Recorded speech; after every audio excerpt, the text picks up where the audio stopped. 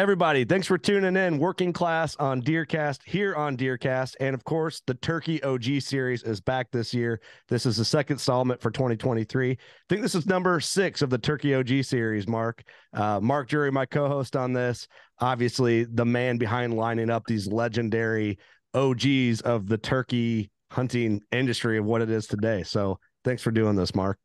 Yeah, thank you, Curt. And we've got uh, one of my favorite people in the whole world today, Mr. Toxey Haas, the founder of Mossy Oak Camouflage, one of my best friends, a brother to myself and Terry. And, you know, it goes all the way back to when he first brought Mossy Oak to the public back in 1987. And then Toxey and I met in 1989, and we've just been like family ever since. So it is an honor and a privilege to have Toxey on today. Toxey, love you, brother. Welcome. Uh, thank you. Um, like I told y'all, I'm a I'm the world's biggest homeboy. I don't I don't do a lot of them. I, I jump on ours a good bit because it's right here and all. But uh, I told um, I told your partners probably you can count them on one hand. The people I'd I'd probably do that for. Uh, I'm just so reclusive and whatnot. But I, you know, is is we get a chance to maybe teach people stuff. It's to me, I get the, the older I get, it's less about technique. Although you know, I've you know, people ask me how did I learn all this? Well, I screwed it up for long enough, and that's that taught me something. But I think this is fifty three years. I think since my first turkey hunt with Daddy. It's a pretty long time. But the thing I was getting to is the man, turkeys come and go and all that, and I just it has been my passion uh, all my life since I first went. But the most cherished thing is those friendships like we have with Mark, like I have with Mark because it's fan time, and no matter what happens, uh, even if we have a ruffle between, because he's got a lot of business stuff that interfaces with us, it didn't make any difference. Um, it was just that chemistry at the very first. It's like the love at first sight thing. It sounds kind of kooky, but it was, and uh, it was just the main thing is what turkey hunting as a sport, and all of them, bow hunt, everything can give you is so much more than the deer or the turkey. If you have those relationships built in and around the sport, it is the thing that life was made for. It it is, and Toxey's a passionate guy about so many different things. Um, he's a passionate guy about business, family, his community, but he is a dyed in the wool turkey hunter. And honestly, that was, that was, our connection way back when, when I first met him in 1989. We met at a turkey calling contest, and many people know him as the founder of Mossy Oak. I know Toxey as, like I said, a brother and also one of the best turkey hunters I know. And I know a lot of really good turkey hunters, and he is absolutely death on them. But I think the thing that makes st- uh, Toxey stand apart from from many that I know he's more worried about keeping them alive than he is killing one. And I think that separates him from many others. And I think that's a, a, a, path a lot of turkey hunters are going down these days. And I know when I have a question about turkeys, I'll call Toxey first because he's so into the to the resource like he's he's about them 365 days a year, not just the 30 or 40 during turkey season. And, and that's hopefully the greatest compliment I can give you as a gamekeeper, Toxey, because you are more worried about keeping them alive than killing them. Yeah, I mean, um, it, it, it's really just common sense. I mean, uh, 30 something years ago, people would ask me what was my philosophy about deer, you know, and even turkeys. Like, what what's your top thing? I was like, and I know this sounds real country to part of the world. It's like I was like, you know, I kind of figured if you ain't there, you can't kill them. And I know that sounds stupid, but I mean, it's kind of philosophy. Mm-hmm. and broadly, it's it, it's true as anything can be. And so, what I want more than killing one is to be able to, you know, we call it as a gamekeeper that life of abundance. I want to be able to go out and hear them. You know, if I if I go out and hear some and get my tail whipped, I'm fine.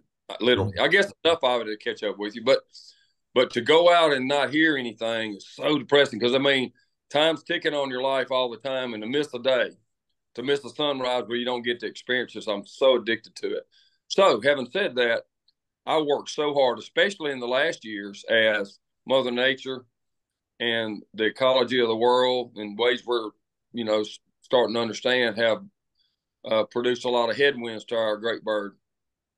Uh, we worked really, really hard at um, raising them, everything from the trapping to the predation to the nutrition at certain times of year, and even the harvest. And you know, to um, to much of my pride, that the kids, my son-in-law, you know, the three of us, they have access to all my stuff, and and even others.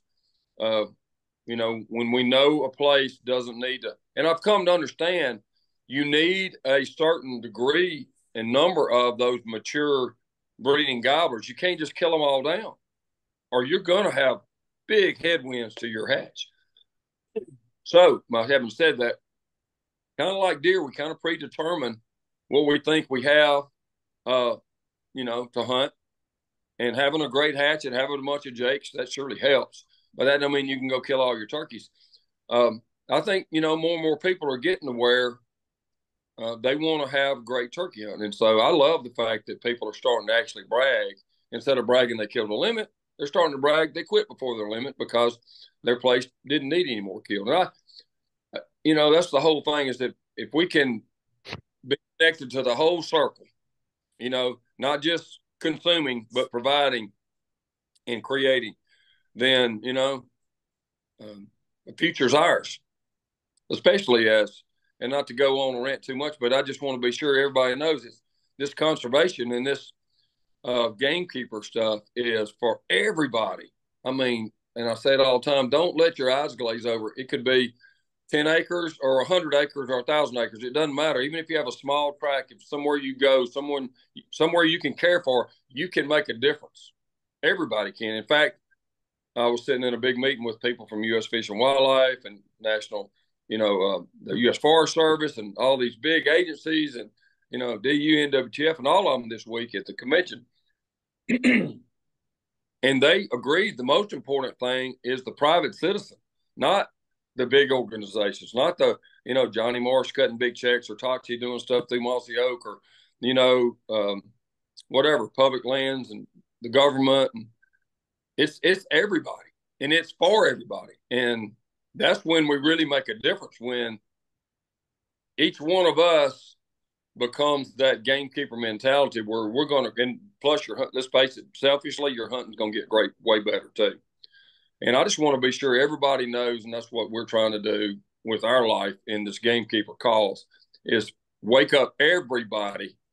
And not only that, everybody, Karen, can make a difference in quite honestly affecting votes and maybe Congress or something to the benefit of hunting and wildlife. So um, I just want to be sure everybody's paying attention and, you know, make your own way. Um, I'm not here to tell you what to do. I'm telling you what works for me, what I like but I'm I'm cool with whatever makes you get through life and uh, enjoy the outdoors. I do love that, man, Toxey, because as I get a little older and I'm able to acquire some of my own property, even if it's a smaller track, you know, when I was younger, you know, shooting turkeys or deer or whatever was like it's it's always fun. Like I always enjoyed that. And but as you get older, you kind of understand like the whole circle process of it, or or maybe not that you didn't understand it when you were younger, but I appreciate it on a different level now, especially now having my own piece. Like if I do food plot seed and watching turkeys in it, and even well, if I planted it just in thought for deer or thought for this, or seeing songbirds benefit from it or whatever, it's just like a good feeling. Or to see you know deer and turkeys for the following year to come and just knowing that you're going to have or hopefully have a season to look forward to next year and the year after and the year after you know absolutely. I just thought you're talking i thought of a great analogy and i hope you don't get mad at me mark because i'm putting you out there on this one. His he is as good. He, he can talk about me all he wants. He is as good as walks. But people will wonder we talk about all this and they say oh that sounds great. I see Mark smashing all kind of big bucks off his place every year. Him, his daughter, his you know his mom, his brother, all these guests. Well, guess what? Mark has done a brilliant job, and you know it's not just one place either. He's got a steady crop of more coming all the time, and he knows exactly what he can and can't do, and he harvests to that. So to the degree he knows that he has all these other deer coming on, coming on, coming on, then he can enjoy shooting a bunch of deer. But the point is, you still have to if if if for some reason and he's had years like that you know um, ehd years and stuff when he had to cut back he did and so if you get your place going and turkeys are a little trickier and that there's so much working against them, even more than deer, in successfully raising a young one. Uh, but if you do the things, and it's not that complicated, it takes some work on your place. It isn't a one hit wonder, but over time, let's say I would bet you three to five years, you'll start to see a really big difference. And if we have good weather conditions, you really could see it sooner.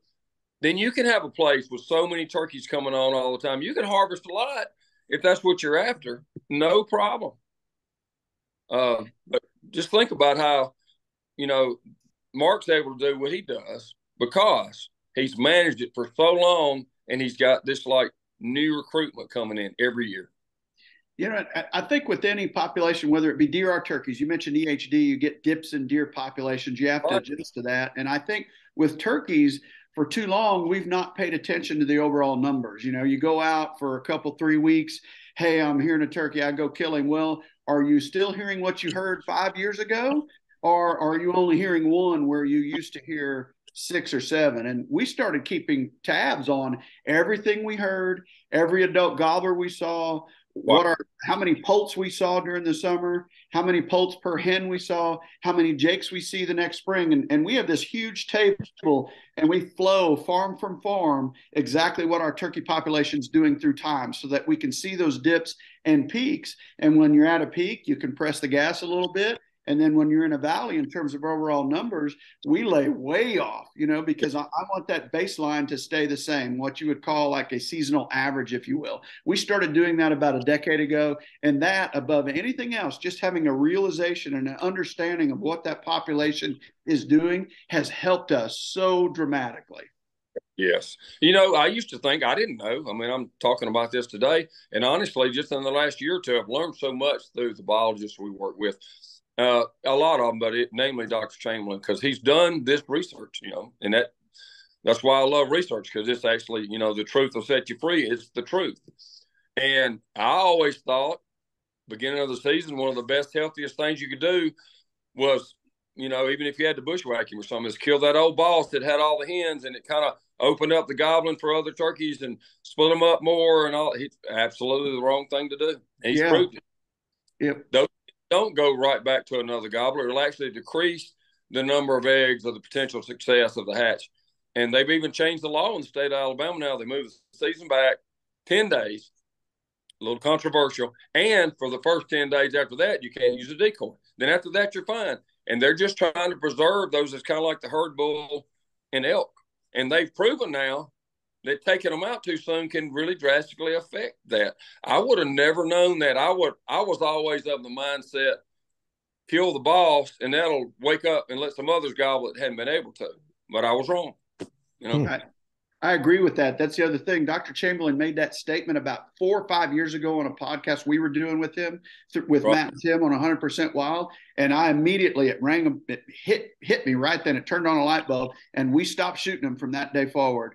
That, along with habitat improvement and taking care of those nest predators, which I, I learned uh, how to from Toxey as much as anybody, that those three things have yep. made drastic differences in our turkey population. And I'm, I'm telling you right now, I've got more turkeys on my Iowa farms than I've had in the last 20 years. I mean, it has made a huge difference. And that all that comes from research and just using a little common sense approach out there. Yeah. And the, like the predator thing is a big deal.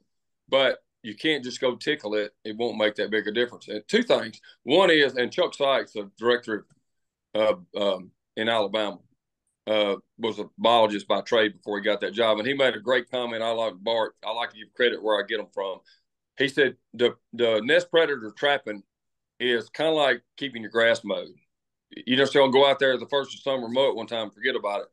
You have to keep on, and I mean it's kind of like the the, the weeks of mowing grass is like years. You want to really hit them hard right before the nesting season the best you can because you could literally wipe them all out of your place. And in maybe six months, a whole new crop will move in to where your food sources are of predators. So he made a great analogy. You just got you got to start, and Mark's saying that now. You got to start and then continue it. And you know, it won't necessarily mean what what I think it'll mean. Um, especially after maybe two years, is that if we have a poor hatch, your hatch won't be as poor as others. And then when we have a good hatch, you might have an explosion of poults. And, you know, so you're just get ahead of the game. And the thing that happens once you've had that population base build back up, it's going to then be easier to hatch turkeys because you got so much more candidates, you got so much more balance in him the gobble ratio, you know, and you're conscious of that now. So uh, the one thing, you know, I hate that I'm like this sometimes. I have to get back to the corner before I really get busy, or you you almost lose something you love so much it'll really get you off your butt. And I think that's the way turkey hunters that I, by and large are today, and it's forced a lot of us, even me and Mark, to be so much more mindful of how we walk in life as a gamekeeper. And I'm I'm fired up about it, honestly. Big time, big time. And I, I think and I'm going to say one last thing and then we'll change subjects. But you also have to be mindful of what habitat you're dealing with in terms of whitetails, turkeys, raccoons. Like we have certain trap sets. There'll be a coon in it every single day. We've got farms where we'll have we'll be five for five every day. And I asked Tad, I go, how is this possible? Tad's a big trapper. He's been a trapper for, you know, 50 years. He goes, well, raccoons, you know, home core is 20 square miles. He said, you're never going to run out. And I was like, yeah, but they're coming to me. I mean, it immediately hit me. So it goes back to keeping your grass mode. Like you're doing a lot of good if you can keep consistent with it. Uh, yes. But you're you're just taking more and more and more out of the population. If you've got good habitat and they're coming to you, put more traps out, take more out. You're helping the whole the whole ecosystem if you've got really great habitat. I've got one farm that's got two creeks that join, and I mean it is raccoon central. Like if if raccoon ground had a price to it, it'd be the highest priced piece of dirt in Decatur County because we've caught so many on that particular farm because they're up and down those creeks and we're catching so many. So also be mindful of their ecosystem and and how you can do the most good there. We've got other farms where we catch very few; they're just not there as much. Uh, but right. that could change coming into different seasons. I like it. Yeah, that's something I, I, think I feel like I see more of now, just in general, as people trapping raccoons. It's something I personally need to do a better job of. Like the farm I have has got a river on the north end, and it's like it's sick with raccoons. So I just need to I need to get in there. It'd probably be simple for me to get traps on each end and, and do a better job there. But I feel like I'm seeing more of it in the last couple years than I had in the past. So oh, no it's a good no thing. No question. Well, at this particular convention, I'm sure Toxey can attest to this. Like we used to all sit around and talk about, you know, how to kill a turkey. Now we're talking about how to catch more coons. Like the conversation has shifted. Yeah. Raise them. Yep. That's what I, uh, my nickname, I started that years ago and someone will start sending pictures of a bunch of poults. And that's what I call it. I call it sunshine. That's the, that's the brightest, most cheerful thing in nature to me is see a bunch of poults. Amen. I love it. Amen. and they're a, they're a walking miracle. When you they see are. when you see a turkey walking through the woods, it is a miracle that it got to that age, regardless of what age it is. I don't see how they ever ha- make it, honestly. Toxey, what about the wild turkey? Like, what's so special about the wild turkey to you? You know, everything. And part of it is just, you know, it got ingrained. But what my first experience was with my dad, of course, Mr. Fox. And um, you know, my first, you know, I didn't know what was going to happen. It was in the dark. We went by boat miles up a river inland. It was what, you know, for me, such a exhilarating experience doing all that, you know, because he was old hat at it. And uh, you go through as dark as it can be, maybe a little moonlight, but it's kind of, you know, as, as a kid, I'm like, what, an eight or so. And uh, the first thing ever was, hey, and this is South, South Alabama, the deepest, rattliest, booming gobble you'll ever hear comes from those. That's where the turkeys actually came from in the whole country. That's the first experience I had. Maybe 150 yards from us, and I mean it blew my face back like a wind burn, you know, like the whatever a solar flare. And I mean, just the exhilaration from that. And then he began to gobble and he began to answer stuff. And anyhow, he was gobbling his brains out, you know and even on the ground, he flew down, whatever, and came up there. Ended up coming up there, gobbling in our face a couple times, and Daddy killed him. And it was like, oh my God, I had no idea that's what it was like. So for whatever reason, you know, you're we're psychology one on one. We're all, uh, you know, what we were imprinted as, um, and that imprinted me. So to this day, I'm still a little kid when I go out in here and gobble. I literally am kind of at peace once. And, and they're there now. I haven't been out because I'm getting old, but they're starting now. I just know the weather enough to know they're gobbling right now. And uh, once I can go out and I can, you know, know that I could get up and go listen to some, I'm at peace, killing them or not. Again, I'm human, and you know, if I was having a dry spell, I'd probably get frustrated and, get mad at them and stuff. But I just love being able to go here. It's something about it to me that connected. And of course, as a sport, you know, um, there's really nothing quite like it. I know, and some people elk is the same or higher. For me, it's turkey, but it's the same thing. It's that kind of so many things. I believe two hunters, two outdoor for fishermen, kind of at a deeper level than we even realize is a connection with nature, connection with Earth, where we came from, and um, I don't know. There's something about turkeys and calling them, talking to them, making them gobble. I mean, Mark's making one stand on his head. I can promise you, and it's just it's addictive, you know, and it's not like you're just sitting there waiting. I love all. I mean, I love bow hunting. Absolutely, and it's it's it's so hard today for me to pull out a rifle and go deer hunting, and I need to stop and enjoy it. I'm getting older; it's not as easy to climb trees. I love bow hunting. It just it's in my blood. But the turkey and calling them and that whole part is to me what really sets it apart. And it's something magic about when you lay your hands on one. And Mark can speak to that too. I didn't expect like every color in the rainbow all of a sudden to be shining off of. I, I just never realized it till I laid my hands on one. So there's something, you know, sounds kooky or not, it is what it is for me. It's something pretty much spiritual about being up amongst them and killing one. I never take it for granted, not a single time. Hundred percent. There's also something about the time of the year that it occurs in the spring. You know, in the fall, everything's dying and you're getting colder, and it's just like in the morning when the sun comes up that's the start of a new day well the spring is the start of a new year essentially and that that feeling you're out there with life of, of, in abundance and you're looking at this plant trying to identify it and that bug and you've never seen it before it's like it is an endless wonder of, of wildlife borrowing the, the name of johnny's um, uh, museum down there. Like you just you're in amazement every single day. The weather's all, always awesome and the temperatures are great, you know, because it's 60, 70 degrees and everything about the spring is just so awesome. And the turkey takes it to that higher level. I call it, you know, even in because I'm a Christian, the season of rebirth. But it's the rebirth of the whole earth, you know. And like you said, things wake up, birds are singing more. You can smell flowers blooming. I mean, I just, I just, I don't know. I believe there's an energy to the whole way the earth and the universe and all that works. Mm-hmm. And, you know, everything's fired up and waking up, and, and it's just something about being connected to it. It, it. it is such a rush. Some of my favorite hunts actually are like an afternoon hunt in a beautiful spot where I'm not even hadn't located anything, and I just ease into a spot I feel like it's going to be pretty good, and I just sit there.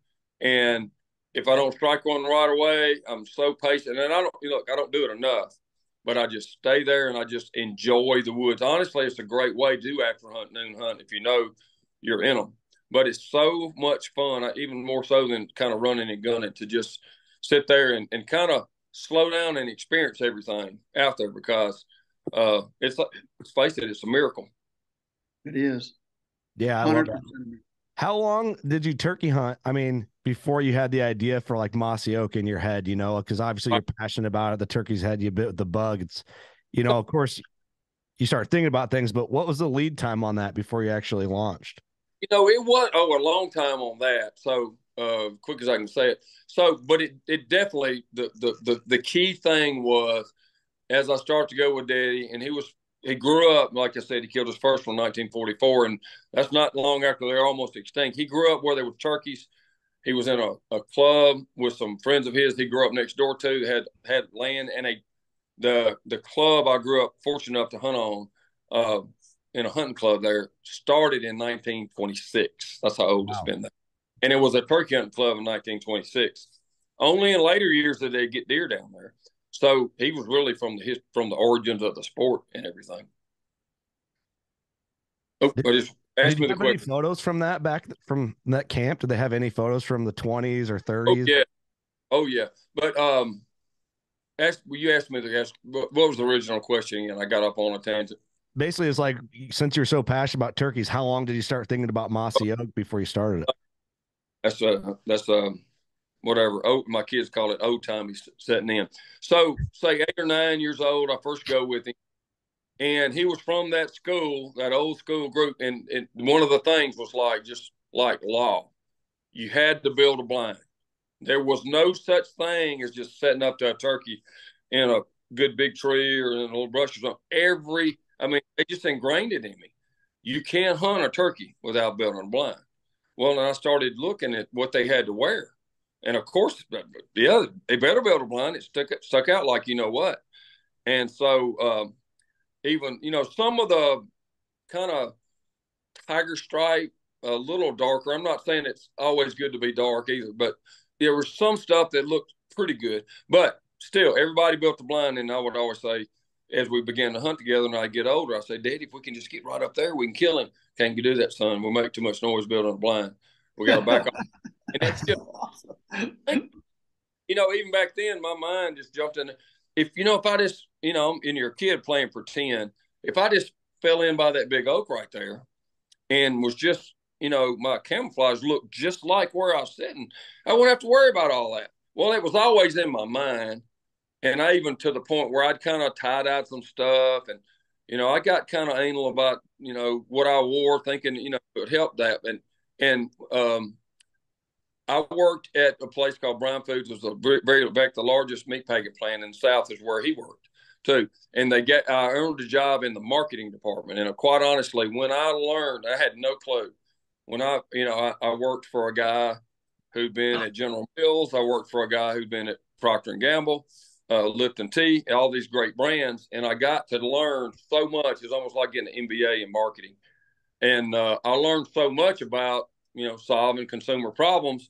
And it just led me to go, nobody's done anything like this. I've seen a few things and it's like, it was even worse than what we used to have to wear. And it's like, I, I could do this, but I had no idea. I, that's a whole nother story beyond that. That was probably 24 years old.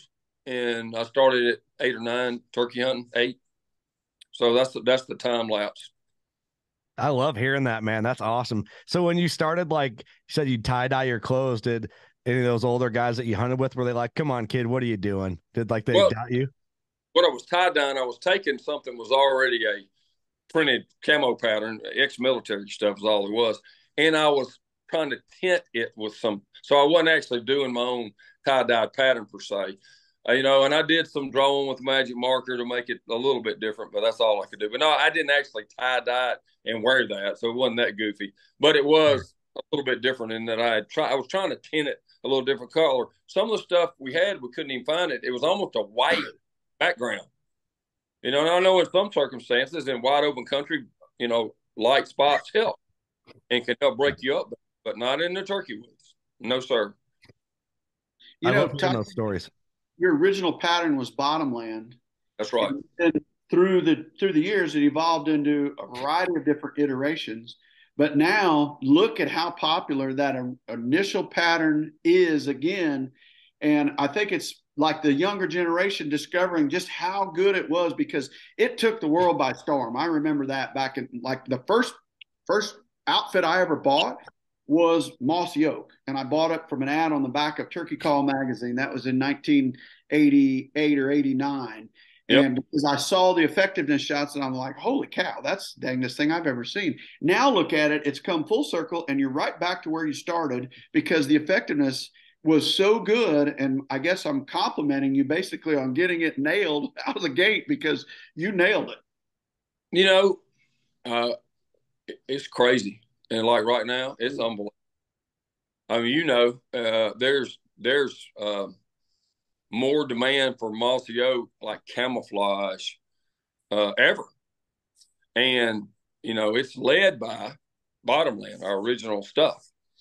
And part of that is, you know, yeah, they rediscovered it, and I think there's kind of a satisfaction with people knowing something really simple.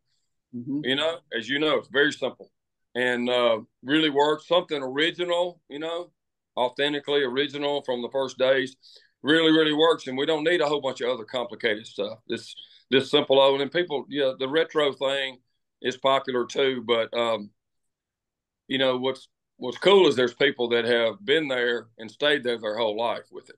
And so most of the new branded offerings that we have, in fact, all of them now actually, have a bottomland background to them just to tie it together as a brand in the look of it. But what was honestly, the initial? Um, sorry, Toxey. What was the initial reaction? Because Mark, you said you were like blown away by it. Like, was everyone across the board like, I can't even believe this. Like, we needed this all along. You know what I mean? Or was there like some skeptic to it, or like how'd it go?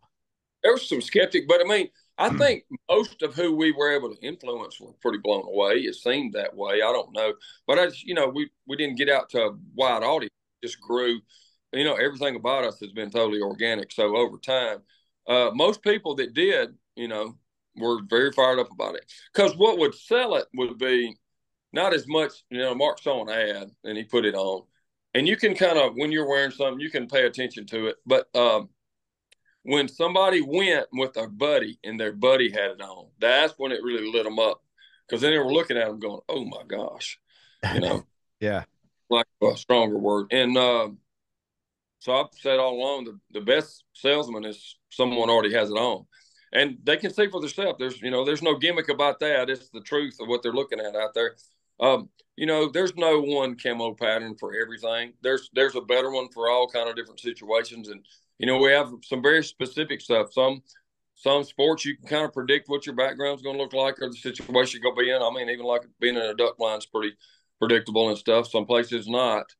But if you just had to pick one pattern today and kind of trust it for everything, um, which is where a lot of people are at, uh, we, you know, we're we're pretty comfortable where our bottom line is. Yeah, big time. That's well, I said I ordered it. I ordered it in 89 because that's when we met. We were at a calling contest and I didn't know Toxey. I didn't know who he was. And I was at a contest and he came up to me. I was actually doing an interview with a, with a writer about the calling contest. And he walked up and he goes, Hey, I'm just curious, what, what's your favorite camouflage pattern? And I said, Well, I just ordered uh, a whole set of Mossy Mossio Bottomland from an ad on Turkey Call magazine. I'm waiting for it to get in. So that would have been February of 89. And that's that's how we met. He goes, Well, I'm Toxey the inventor. When you're done with this gentleman, I'd like to talk to you. And then then that's how we met. And then we've been best of friends ever since. I can't awesome. remember I gave you a little bit or I made you go ahead and pay for it. I can't remember. I had already ordered it, so it was shipping. And but then when I met you, of course, I met him and I said, my spring break's coming up in about three or four weeks. I would love to come to West Point and work for you for a week. I'm very intrigued by this whole industry. So I drove to West Point and spent my spring break down there. I was in college at the time, and I, he invited me to stay with he and Diane, and I did, and we just have been best of friends ever since. So I'm sure I got some camouflage that trip. you yeah yes, and uh, that that's you know that's such a rare coincidence. I mean, we were so I mean, just to paint the picture, we, we're living in a 1,100 square foot house, and um, you know the the payment on was like 280 bucks a month or something like that. Um, we lived off my wife's teaching salary for two years when we first started. So when Mark got there, I still wasn't able to pay myself anything out of the business. We were literally hand to mouth at the time. And to think that, you know, when Mark said that, he, he kind of phrased it wrong. He said, he said it like he was being polite in typical Mark fashion, who doesn't take no for an answer. He was like, "Hey, I'm coming to stay with you, and I'll work for free." And of course, at the time, man, I'd already, you know, we already struck up this chemistry already. And I really wanted to get, you know, do with him, but I was like, at the time, I'm thinking, a whole week of free labor? Oh, you kidding? and he did, came to work. He jumped in, and I mean, he asked a million questions. He was helpful everywhere. I mean, you know, and then when he left, he said, "Hey, I graduate because I think you were just a sophomore. If I'm not mistaken, you were 19. I was young, but I yeah. yeah. Um, I graduate. I'm gonna call you now and go to work for you. Just like instead of just asking, he just pretty much told me, and I was like, yeah, okay, sure, you know, and I, you know, we stayed in touch. That was that part was great, but then, you know, off and on, and then he called one day, said, "Hey, I'm done. Where where do I where do you need me to start?" He didn't forget, and you know, it's weird. If he'd have done it two months before, I wouldn't have known what to say. But we had just started a sales group to sell direct, you know, have our own salespeople. And we had just made the conscious decision with me, Bill, uh, Cuz, Bob Dixon, one of the true pioneers who Mark and I both love so much we lost. But we had just decided we need to bite off. We had Cecil Carter, who uh, worked for another rep group and was in that anyway. Just decided we needed uh, someone in that. What do we call it? The mink states. Isn't that right, Mark? Yeah, Missouri, Iowa, Nebraska, Kansas. Yep. And so, I mean, literally, not. I hadn't even thought about it. I just knew we had, and it was literally a week or two. Even the phone rings and it's Mark about that, and I was like, "Wow, oh yeah, I did tell him that." Maybe that's the perfect fit. We'll see. And man, he hit the ground and he lit the scoreboard up. I mean, it didn't take him any time. And, uh, you know, that was the best thing could have happened to him because he's traveling, seeing all these different sporting goods stores, talking to all these different people, getting perspective from a wide range about the whole industry. So it was a it was an amazing time. Honestly, I mean, the good old days are right now. I'm been so blessed. I can't even. This, this whole thing's a miracle. But man, those days were so much fun too. They were they really, so awesome because we really didn't know, right? We didn't know. You know, we, we were just oh. doing what we thought was best. We were young, you know. I was very, very young. Green and, is, I think, one of my greatest, one of my greatest like secrets to success was being that I was so naive. I didn't know, no, I didn't know what I was doing wrong, you know, and yep. to get in my way. That last um, episode, Mark you were like so naive. You you said that last episode, the last Turkey OGs episode, that you were so naive. Oh, I was so naive. I called Harold Knight and said, I'm starting a game call company. Would you help me learn how to build some of this stuff? He invited me down to tour the plant. That's what I was talking about. What a gentleman Harold was. I didn't get that answer from most that I called, but Harold and Preston were the two companies that said, Here's our vendor list. Here, let me help you in any way we can. And the rest, rest, weren't, rest weren't like that. But uh, I was naive enough to ask them to help me. Yeah. I have I haven't run into any of that in our industry. I can assure you. That's that's that's pretty unique to game calls, I believe. Well, if Harold had a camouflage company, he would have helped you. yep. I love hearing that stuff, man. Like to me, just because I was born in '90, so hearing about like some of this stuff, just like getting its roots and the foundations poured, and like, and also hearing like Mark, you were just so eager and motivated to help people out and and and talk to you like you just like passionate about it, starting your business, not knowing what the future could hold. Like that's exciting stuff, I think, for me and guys my age and younger to hear, especially whether they're passionate about hunting or something else. It's just nice to hear that from guys like you because you just never know what can happen. And with a little elbow grease and some passion, things can go a really long way. Yeah, and I think one thing I would school people about is just I, I, I spend a lot of time with, you know, we have a lot of employees and stuff too. It's like helping people stay out of their own way. I've had to learn how to kind of get out of my own way. I know Mark has had to do that, and you learn that, you know, through trial and error and stuff. But um, just don't compare to other people. I mean, so I know it's competitive. We compete with different people. And if you're constantly just watching what they're doing, trying to worry about what they're doing, step in front of it, or stay ahead of what, just just be yourself and be grateful and happy for what you you know hopefully you find your calling. And i always describe it as if you know um, when your feet hit the ground in the morning you can't wait to get to work because you love it so much. That's the way we ought to be spending our time. So and i know a lot of real honorable men just have to do something they don't like take care of families and that's unbelievable. And they're heroes. But if you can ever get like what you're doing you can tell you love what you're doing right now and you're good at it and that's what I would say. If and if you get there, don't compare. Are we number two or number three or number five or whatever? Just be so grateful you're getting to spend time, which is your most valuable resource. Let's face it, it's just running out all the time. Uh, doing something you love, and uh, I think that I, reason I went on about that is that's exactly how Mark's been. He might look around some, but he's too busy being himself and getting on with stuff. Really busy uh, to worry too much about that. I love that advice. It's it's sound advice. I can promise you that. So I, I want some advice on killing a turkey, Toxey. You've been hunting a long time.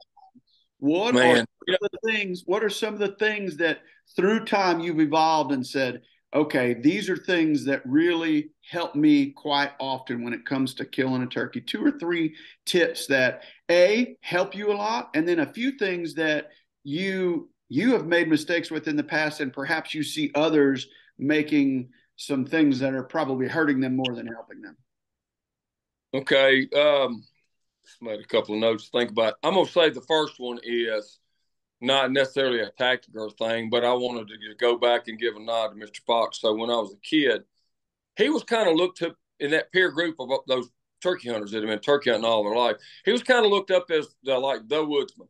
You know, he was always like the best squirrel hunter with a 22. That took a lot of woodsmanship and all, and like stalking a deer in open woods. You know, and even in turkey hunting. So he was looked up to a lot on that, and there were some great turkey hunters. Wouldn't I'm not anointing him as the greatest one they had back then, but he was really, really looked up to about that. And people would ask him because, you know, the calls we had were the only mouth calls that were ever made back then. They weren't even on the market. There was a privately a guy in Mobile, Alabama, made them, named uh, I think Jack Davis. And then there was people that could call with a mouth call for the first time and sound really good, better than like the boxes and stuff back then. And that's what I'm getting at. They would say, Mr. Fox, what do you think's most important? thing, uh, you know, in turkey hunting. And he would always say, because he would expect people to say, well, you know, that pretty yipping will do it for you and, and draw them in or something. He would say, in my opinion, the most important thing to being a great turkey hunter is knowing the lay of the land. Boom. That's how he said it, just like that. And so there's a lot of little snippets of wisdom to come off of that. And Mark can see that immediately. And I will just vouch for myself is maps help a lot now when you go somewhere new. But if I'm hunting, not just my home place, but somewhere I'm, I'm familiar with and I've been before, I'm twice as good, three times as good as I am on a new place in a new area, have no clue what's going on. You know, I hear turkeys and I'm, you know, I'm, it may work out. Maybe if there's a lot there, but there's some wisdom to that knowing the lay of the land thing. So, you know, there's a deft touch to scouting and knowing your place without disturbing much. And Mark's a master of that too. Both of us are real anal about not disturbing your property much, but really knowing and having a sense of where you are, the way the land lays, the creeks, the bottoms, the draws, all of that stuff is so important. Um, as far as calling, um, I would say for me, I've seen a big difference in some things. I mean, there's there's so many, you know, I'm I'm not a big believer that, you know, here's Johnny Joe over here and he's yapping and he sounds average or whatever. And then here's Mark, he's former world champion, grand national champion, and all that stuff. Prettiest yapping you ever heard. And turkeys aren't going, hmm, Mark's yapping's prettier than his. I think I'll go to Mark. You know, that's just not necessarily how turkeys work. I'm a big believer in maybe sometimes it helps me to be sure to sound like more than one turkey. Now, I, you know, sometimes you soft pedal a turkey that's been bothered a bunch, or you're in a pre- precarious setup or whatever. But if you're comfortable with that, and I think especially if there are hens involved, I tried to pull out for me slate, box, mouth call, and to be sure they sound different enough that it's clear it's three different turkeys. And I'll, yep, on my mouth call, answer with a slate, cut back and yep on yep back at that on a box call. And I might even have a fourth call with a distinctly a little bit different hen sound. I'm just trying to give the impression it's not just one hen over the yep, yep, yep. That it's multiple of turkeys. Now you still have to be careful. You can mess that up too. But I will say over time, it seems like um, I've killed a lot more turkeys than I might have otherwise doing that. So anyway, just the simple version is try to give the impression there's more than one turkey there. And Mark can comment on that. No, I, I agree totally. I, I want to know, go step further, things that you perhaps see people make mistakes at. You know, in other words, let's try to help people avoid making mistakes or things you've done that you no longer do that because you think right. like, well, I might have made a mistake. And I'm talking tactical, you know. Yeah, I, I, along those lines, and not as not as much on the calling. Um, I think one would be giving up too quick. Everybody gets so addicted to making them gobble, you know, blowing owl hooters, blowing crow calls, making them gobble, cutting at them, making them gobble, and whatever. And so I would say one of my little snippets I would definitely stand up on is like making one gobble and then calling one in is two totally different things. Mm-hmm. So might not be in your best interest. Just keep on and keep it on. I know I love to hear them gobble at me. Uh, but uh, I think that if you get around one thing, if you get around field turkeys, sometimes you can learn a lot more. because you watch, or if they're in the open in the woods, you can watch what's going on. And so many times when I've actually could see the turkey way out there, but still could tell what was going on, he just shut up because a hen came to him that he could breed. And, you know, maybe 20 or 30 minutes of nothing. And most people get up and leave. And I would have probably too been impatient. You know, the worst thing you have is a place with a lot of turkey sometimes because you're not patient enough. Um, but I, then you sit there and watch, and sometimes the easiest turkey to call is one who's just bred a hen. He's so crazy hot, hormones raging, and he can't find another hen. He might come running to you. You know, so um, patience. Um, I, one little thing, you, you know, it's really, you know, today you know, we got decoys and stuff. That's changed a lot. But even prior to that, we we you know, Mark and I hunted together. We would always buddy hunt. Rarely would we sit side by side. One would give it up for the other one. What's funny is the guy in the back would more times than not end up killing the turkey. It's amazing how they get around the guy in the front. But you would always call it buddy hunting. And Harold and David showed me that first. You know, the front guy's maybe 40 yards in front. So, you know, when he hangs up within 60, 70 yards of you, you know, he's dead to the other guy. But here's one of the things I would be conscious of when I'm buddy hunting is if you've been working a turkey and he gets quiet and all this happens, have something ahead of time where you can, like if I'm back calling for someone, they may be ready to go or do something different or whatever. They're waiting on me. I will never just get up and go get them because I don't know what's going on. They may be looking at a turkey that's coming or something. So have be be careful how you buddy hunt that you have some kind of signals like, hey, I'll crow call one time. And if you don't see or hear anything and want to leave, then you, you know, crow call back and then we'll leave.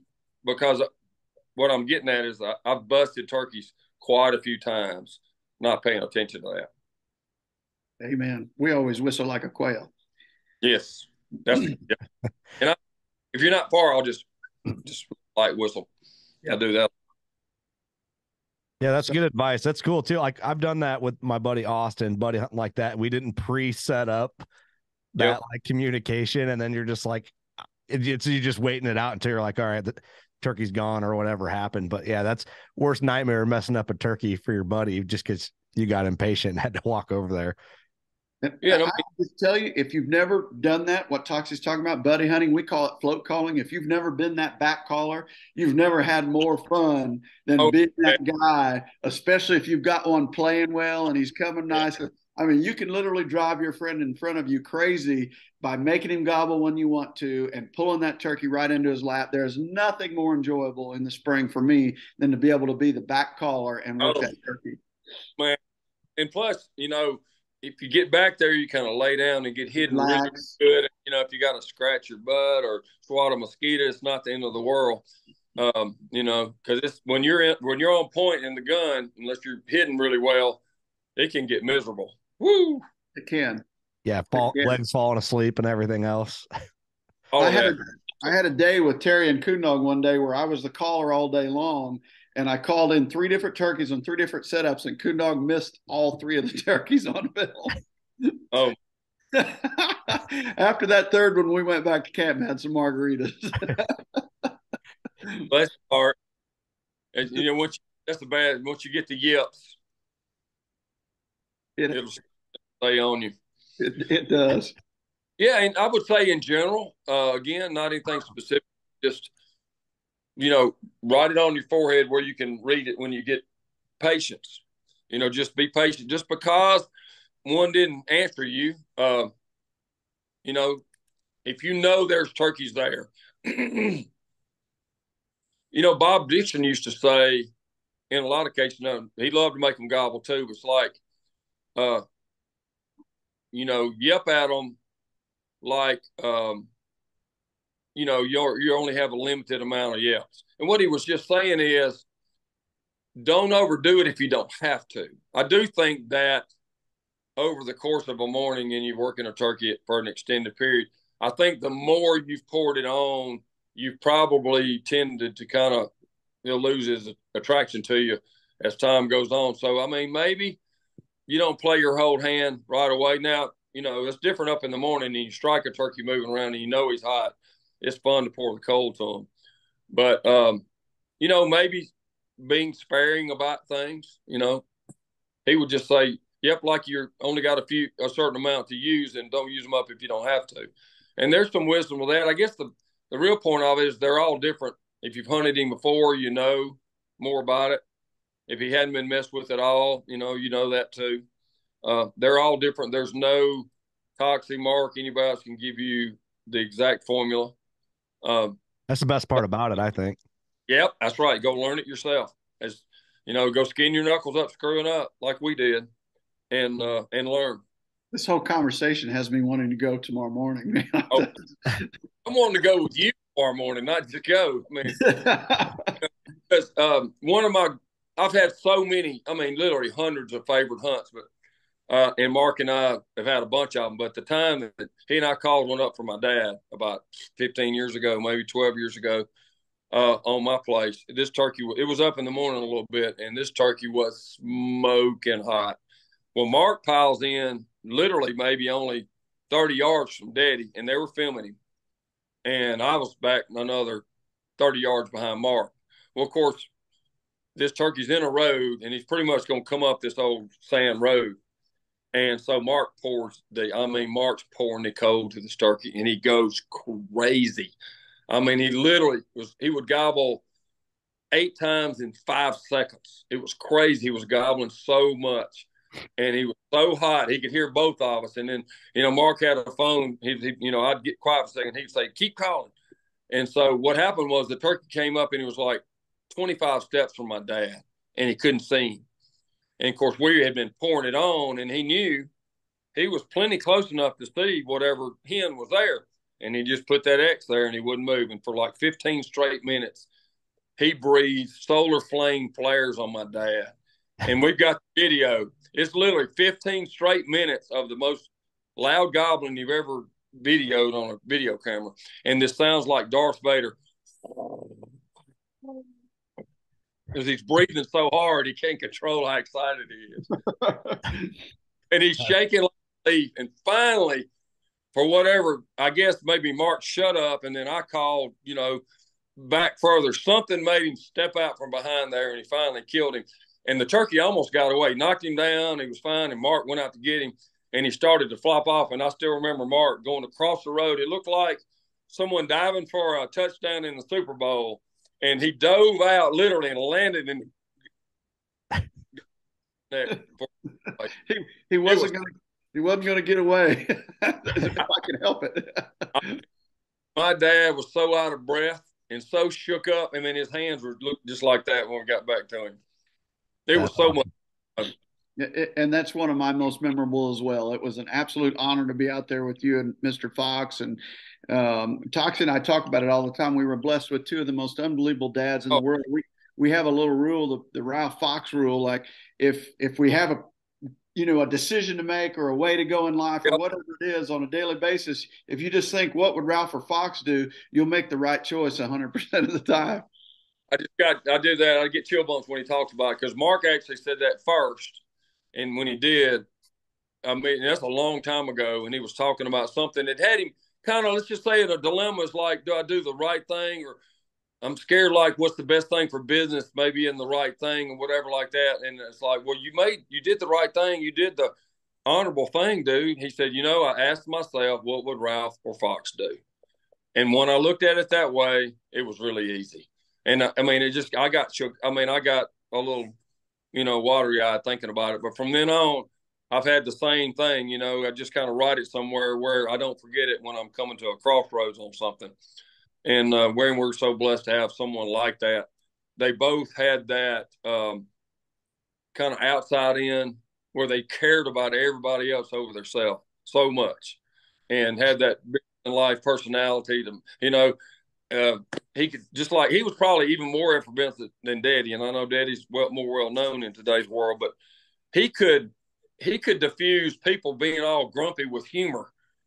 You know, it was funny. He would almost be like, "Come on, man," and he he could diffuse about any situation with a little bit of humor, and that's such a great, you know, art form. I wish more people today had their touch at that. Daddy's the same way.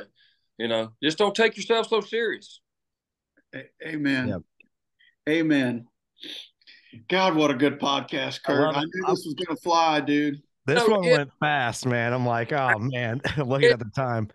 Yeah, I catch myself preaching, and I don't want to come across that way, but I just I do want people to learn from whatever perspective I've had in this walk, and you know what, um, just you know, every day slips by and then it's done, and you can't get them back, and so that's why I'm so grateful because you know if you lose a great relationship or maybe a relationship with someone didn't turn out like you thought, uh, it hurts. You think about all the wasted time, so to speak, when we can't go back there.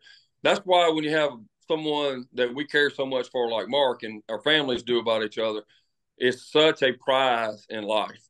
And then also teaching people in, in the way they go about hunting is like maybe it's okay, you know, it's okay if you be proud of how big the deer is and killing the limit and all that, but be sure to don't forget there's more than just that, you know, and every day to get outdoors. Think about all the people that can't do that. Man, there's so many people that can't do that. And just, you know, enjoy every minute you get to because sooner or later, all, all of us, we're not going to be able to again. And uh, I just want to get every, soak every minute that I can. I mean, I've gotten to where, you know, even if I get home, I'm not living, you know, where there's turkeys right at my house and all, but I just get out in the yard and do stuff because I want to be outdoors with nature, you know. Just I'm addicted to it. so sure. so well said. So well said. Always as much philosophical as it is tactical when it comes to Toxey. That's what I've that's why I've always been so enamored with him. Like I remember when we used to have our sales meetings with the rep group he talked about. Like my favorite part of the sales meeting was when Toxey would get up and talk. He's just such a gifted public speaker and he's such a motivator. And I think that's why his his company is filled with people that have been there for life and that's oh, why oh, he's just the best. I appreciate that, but I'm telling you, um, I'm just I owe it to a bunch of great people, and uh, I'll tell you the other thing too is exciting. Mark saw it just this last weekend.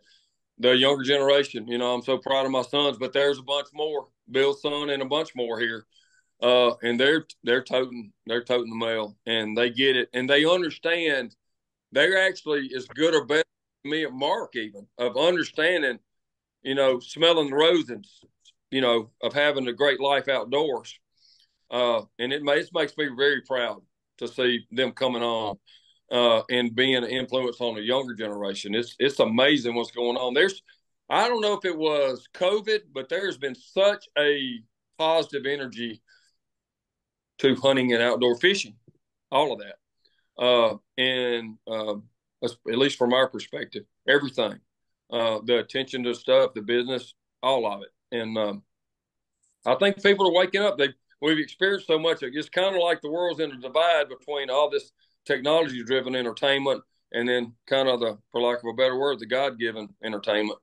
And uh, I just believe you got to have. You can have the you know entertainment, the electronic entertainment, but um, you gotta you you can or maybe not, but you gotta have you gotta be able to touch you know, nature and do stuff. And um, it's so important, especially yeah. getting touch it right now. So, but you know, my favorite is turkey hunting. It's the easiest to get someone hooked on. The only thing is just you know the limited access. Uh, there's a lot of good public hunting stuff, but then that's kind of tough sometimes. Sometimes those people don't have the best manners, you know, and it's hard to, you know, you go hunt turkeys. Everybody's been messing with already. That's tough. I wish for everybody to experience um, a spring morning like me and Mark get to experience, though. Big time. That'll be the first thing I probably get my daughter into is turkey hunting, just because the interaction yeah. and all that. So that's I'm looking forward to that day. And how old is she? She's three and a half. She actually, oh, she'll, yeah. be four, she'll be four in May. So yeah, I mean, you know, I'm a you know, especially today with the little blinds and stuff you know they what it could be it could be four or five it could be eight you could but but getting them out there for the first time uh, and not even having the pressure of you know some of them put I think we put too much pressure getting them ready getting them shooting the 410 getting them ready and like you know they have to be the one to kill one just take them with you when yeah. you think they're old enough to put up with a you know a little cold weather or a few mosquitoes or sitting still for 30 minutes or something like that and uh, just get them out there because I tell you what you talk about your life changes. That's Mark. When you take kids for the first time, it just changes you forever in a cool way, the coolest way, yeah. actually. I think I'm going to try Go ahead, Mark. Sorry. First several times I took Taylor, we were just calling them up. We weren't killing them. We just call them up and make them gobble. And she finally said, "I want to kill one." And I said, "Good, I want you to." that, was, that was her genetics coming on out. that's that's good advice, man. Because I I take her with her name's Isla May, and I take her with uh, shed hunting, and we spend more time jumping in muddy puddles. She likes to call it from Peppa Pig. So we go around jumping puddles and don't really find any antlers or even really look much for them. But She's a little doll too, buddy. Yeah. On that trouble. philosophical note, but this is actually from a famous uh, child psychologist. Um, the most important and critical relationship in the whole family is is actually the dad and the daughter. Honestly, you know, if there's it could be only girls in the family, but either way. And I started thinking about that how important it was. They always said that the, the, the daughter has an emotional cup and the only one can fill it up is her dad. Oh, and so when the dad doesn't do that, and it doesn't mean like dad buys her a bunch of stuff and just, you know, it means dad takes the time to spend, you know, your most valuable resource is your time, not like your money or your whatever else, your material possessions. So I think subconsciously, if you're not actually spending time with them, then you're not filling that cup up. I'm not sure, but that's what I believe. But um, my point in saying all that is it just I went I went to a, um, there was a place to duck hunt not far from was a public hunting duck, duck hunting place when we didn't have a lot of duck hunting. And I went. You had to go four in the morning. You had to draw, and then you had you know depending on how you draw, you pick your spot and all. And it's a really cool place. It's called the Noxubee Wildlife Refuge. And they had some green timber hunting places. Anyway, I looked over there, and I'll never forget it. Just stuck with me. There was a mom at you know whatever twenty something degrees at 4.30 in the morning, no far, no telling how far they drove. She had her sons there. They were old enough to hunt on their own without, you know, whatever they were, but they couldn't drive. She had driven all the way over there to be sure they got to go do that. And I'm thinking to myself, you know, what kind of mom, and then the mom and the son and the relationship. And then I got my first child was Sarah Francis. She was a baby when Mark stayed in the house that time. Um, and so we had that. She was all girl. She wasn't like a big athlete or a tomboy type of girl. She was all girl you know. And but we had that hunting. She, you know, she killed a deer at like ten years old. She killed a turkey at like eleven years old. And you know, she doesn't go as much today. She's got three kids, but we had that. And so, in a lot of cases, what could there be for dad to have something in common with the daughter? No better example than Mark. You know, right. there, right there. Um, and so, you know, maybe it, maybe it's the son taking mom and you know, but no, you know, there's no sport you could have the relationship across, you know, the mom, the son, the father, the daughter, like hunting, or maybe hunting and fishing and spending that time together. So, man, I encourage all those dads to do just like you're dreaming to do. And, you know, you don't have, as far as if they go or they pull a trigger or not, let that be their choice. And like, like Mark said with Taylor, I mean, I mean, she she volunteered on her own. He didn't oh, have, oh, yeah. but take them. It's so yeah. important, and I say especially for the dads of a daughter. Take them and positive reinforcement. Show them that you believe in them, that they can. That's one of the best pieces of advice. Is one of the best things I ever heard Toxey ever utter in his life. They were asked, I don't remember who asked you, but they were asking you about how you got your start and why you kept going and, and what was something instrumental in your life. And he said, I had people that believed in me. And I'm telling you, that was like, I was like, oh my goodness, what great advice in anything in life, whether it be business or children yep. or family or relationships. You cannot have one better piece of advice to take away from this than that statement right there. People believed in me. So don't be, don't be afraid to be the person to show that belief in someone else. One hundred percent, and also because I would say, how could I even do all this stuff? And I noticed I had all these people around me that believed in me, and so two things happen. I think that somehow it gives you some kind of gift that we don't understand or whatever that goes on, but then you don't want to let them down either. Both those things happen. It's also a little bit of a turkey hunting lesson there, Mark, because I do remember another old timer telling me what makes a great turkey hunter, and they said, and that's how Mark is a great one always believes there's one behind the next tree. And what he's saying was, you're always optimistic. You don't get your head down. You aren't grumpy because they aren't gobbling good today, or I didn't get to go to the best territory. Man, man, man. They're uh, they're positive. They're upbeat. And they're always believing it's going to happen. that's actually a great philosophy for turkey hunting. It is, and deer hunting. If you believe you're oh. about to kill one, you're yep. always in the game. It's a it's a great piece of advice. I really like that. I, that's awesome. I feel like I try I try to stay that type of optimistic when I'm hunting because you just never know. But it's hey, like you are, Curt. It's easier said than done, I promise. But it's yeah. Well, we've yeah. all we've all met pessimistic yeah. people in our life. Like it's so easy to get away from pessimism and embrace optimism. I mean, it's sure. it's just I am blessed and so thankful that I'm not a pessimistic person. Like I I think every day yeah. is going to be the perfect day. You know, I'm just the ultimate optimist to the point that sometimes I get in a bad situation because of it. But optimism mm-hmm. is, is a wonderful trait. If you don't have it, I'm I'm sorry because it, it will lead you through life. I'm gonna get some T-shirts printed for me and uh, Mark, and like it's hip to be naive, man. yes, I love that. I do. I'm probably pretty dang naive if, yeah. if we're gonna talk about it, but and then I, I, you know, as I normally I ramble on a lot of different topics, but uh, just you know, um, start with like a one-sided box. I'm thinking about beginners now, a one-sided box and like a push button. Uh, look, you can you can kill most most any turkeys. Me or Mark could kill uh, with those calls right there, and getting kind of your mind around listening to stuff people talk about as far as you know the woodsmanship part of turkey hunting. You really can. Don't be in my guess what I'm saying. Don't be intimidated because you can't, you know, contest call with a mouth call. Do not. And don't uh, another big mistake people make. They're so intent on being a guy, quote unquote, that calls them with a mouth call before they're ready. Don't use your best tool, whatever call that is. Don't force the mouth call when you're not ready. When you agree, Mark? Just having the confidence in that tool. In yeah. other words, I feel best in my sound with a box call, then use the one you have confidence in because that's the one you're going to call the most with and and probably sound the best with. So having confidence enough in it to use it is a big big part of the winning game. Yes, absolutely. Curt, advice. Love it. I'm getting I'm getting texts from our next guest. He said, I've been sitting here for two hours waiting on you guys. Good. That means this podcast went well. yeah. I could do look, you could you should have known better than get me and Mark together. We didn't even get on half calling topics.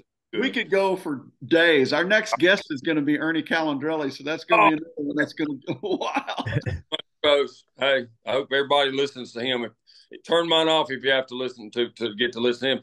Ernie, so real quick, Ernie comes to the Texas camps uh, we've had over the years with customers, and, and he does the coolest thing. He is so old school from way back before me, Mark, anybody, and he will take everybody that kills a turkey while they're you know before the day's out. He'll take and make them their own wing bone call from the wing of the turkey they killed. That's awesome. Yeah, yeah.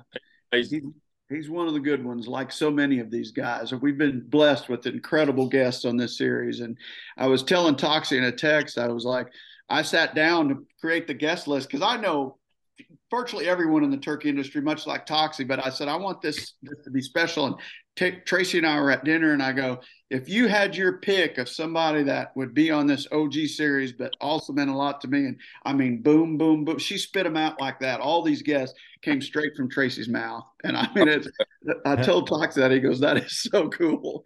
Because she, much, cool. much like Diane, we both married way above our means and we have incredible partners through life and they they know our they know who's important to us like because oftentimes they were ordained by them you know in other words like tracy the people that i am closest to are ones that tracy loves the most you know because i trust her opinion on people so much. She's like that with you Curt. She absolutely loves Curt. She's been in love with Toxey since the first day she ever met him and, and all of these. And i think diane's the same way. They will lead you down the straight and narrow path because they, they are they're like that doe in the green field, they know when danger's approaching, and then they'll keep their spouse away from that danger.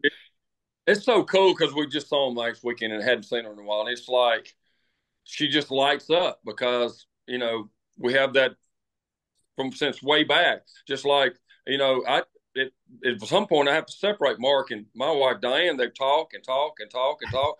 they just have, you know, just there's just a common chemistry with the whole family. It's so cool, you know. I think we we went to bed about what twelve thirty that first night. That first night, I think it was a little later than that, actually. Yeah. And I had to make myself because we were just catching up on old times. It was a lot of fun, all over turkeys too. Always over man. turkeys. Back to the yeah. first day we met, turkey calling contest. Hey, can I come stay at your house? Yeah, we talked about turkeys ad nauseum that week. That's all we talked about. That and family and business and everything else. But turkeys are always that that theme.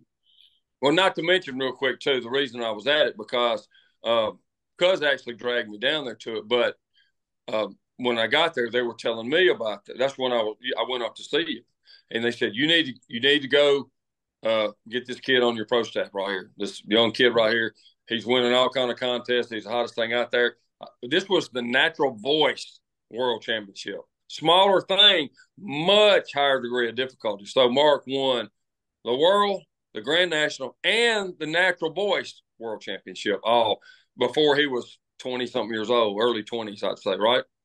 Uh, yeah, certainly. I stopped calling. in, I stopped calling in '96, so I would have been 30 then. I was done calling by the time I was 30. Kind of humbling, though, that you're out there and you're doing your best and thinking you're sounding great, and you got Mark. He doesn't even need the daggone yepper. just like a hen. You know, it was crazy how much talent can God can roll up into one person, but he got big time. It's amazing. Well, Toxey, I appreciate this, man. I this series I talk the least, and I more just absorb and ask a few questions, and I love doing it because it's like I don't know. It's just, I'm just it's an honor for me to sit in with these turkey legends, and it's like other people that don't know how this was like, you know, set up with Mark and and everything like that. Like, what's this guy, random guy, doing with all these just like pioneers of hunting and the industry and, and turkey hunting in general. But I'm just glad to be here, man. And I really appreciate your time and sharing the stories and the info with us. Don't don't short yourself. You do a great job well, with this. You. I have so many followers and whatever. And just, you know, one last message I say just don't, you know, don't forget to enjoy every day like I talked about and appreciate it all. But just don't forget the only reason we get to do it is because of the bird. And let's take this all do everything we can to take care of the bird we love so much. Yep. Uh, if you're not a member, if, if, you're not a member of the National Wild Turkey Federation or Turkeys for Tomorrow, a, they're both great organizations. B, you can learn a lot from both. They're, I would advise being part of both of them. Absolutely. Awesome. God bless you, Toxey Haas. I love you like a brother. Thank you so much for doing this. You're the best, buddy. Look forward to sitting down with you this spring. Amen. Let's do it. All right, everybody. Thanks, Toxey. Thanks, Mark. Okay. Thank y'all. I'll have Thanks a grandbaby by then. oh, that'll be fun. Go go shoot a boss gobbler. Good luck this season. Thanks, guys.